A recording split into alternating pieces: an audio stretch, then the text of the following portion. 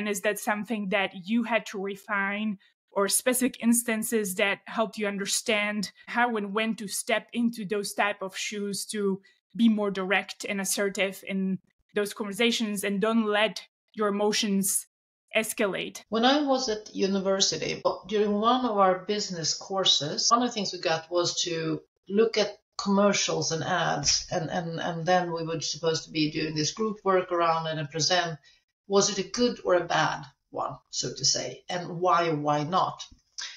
So we got the one, and please do not laugh now, but we got the Swedish bikini team in a US ad about beer. So now I'm aging myself, I guess. But so that was the case. We went into this and we were like looking at it and we had all our arguments why, why this was a terrible commercial and you know the goods and the bads, the ethics, morale, like all of those things. And we were absolutely killed in all our reasoning, in our ways of mm. presenting it, etc., in our argumentation. And not because we were wrong, because in the end, everybody like once we were done, they're like, they're like, you're absolutely right. This is a terrible thing, and you know, for all the reasons we had. But the way we went to it and the way we approached this was emotional. Mm-hmm. It was not objectively, it was not